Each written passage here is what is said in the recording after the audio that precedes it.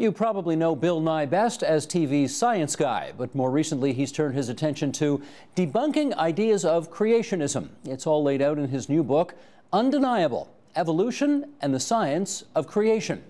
And Bill Nye joins us now via Skype from Los Angeles, California. It's great to have you back on TVO, a place you spent a lot do of time it! back in the day. Nice to see you. How Just are you? do it! Great. It's good to see you. Love, seriously, everybody. Really appreciate the support of TV Ontario. Yesterday, Not at